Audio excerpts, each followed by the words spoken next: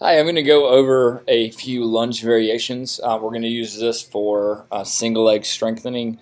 Um, you could use this for stabilization, uh, strength in your knee, um, and also if you have trouble, you know, if you if you want to improve your your squats, um, if you have trouble, say surpassing a plateau, these are these are some great exercises to use.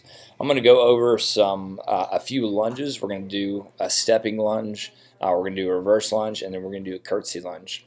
Um, all the while, I'm going to go over just a few. I'll show you. I'll show you a few to start. Let me mute this here so we can we can talk through it. Um, notice that I stand here with uh, with my hands on my hips. Uh, hands on the hips are a great starting point. That's fine. Um, I want you to try to keep your hands away from from uh, from your knee and you may have clients that you may have that clients or you yourself that need um, that need to use your use your hands to get up out of the lunge.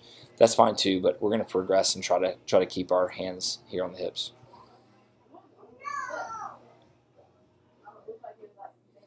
For the stepping lunge, I'm going to step out and then back. I'll pause on the second one. I'm going to step out.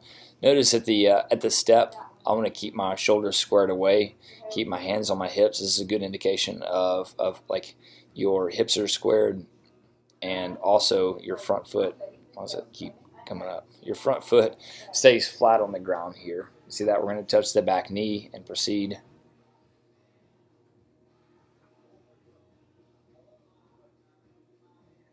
We're just alternating lunges here.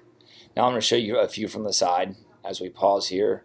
Notice that again, I touch the I touch my back knee here and my front foot is flat on the ground. We look for a 90 degree angle from the shin from the front shin, right, to to the thigh, just like that. One and done.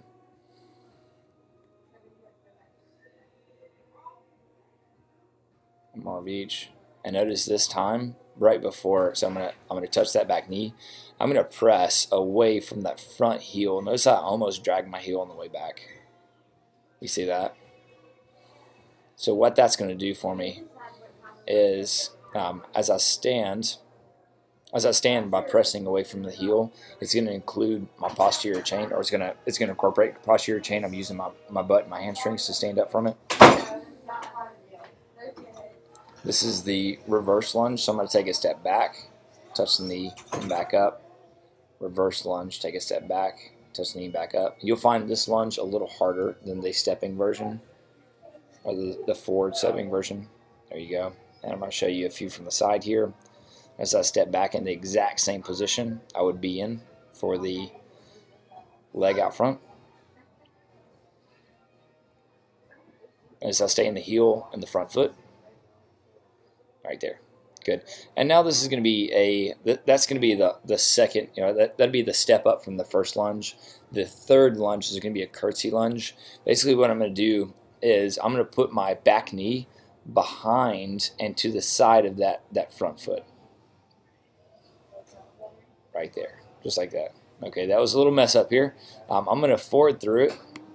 Um, notice, and and even like I mean everybody everybody everybody messes up here. Um, Watch this. I'll, I'll show a blooper outtake for you, just just for some humility. Right there. okay, good. All right, all serious now. Here we go. Right there. One, two. I'll switch the other side. One, two. As I land on the toe in the back, I'm to stay on my toes out back just like that. One, two. Nice. There you go. All right, now from the back, this is going to be a good angle here for you to see that right there. See how far back that far back into the side I place that knee. Fantastic. Great for single leg strength and hip stability. Nice. There you go. Good.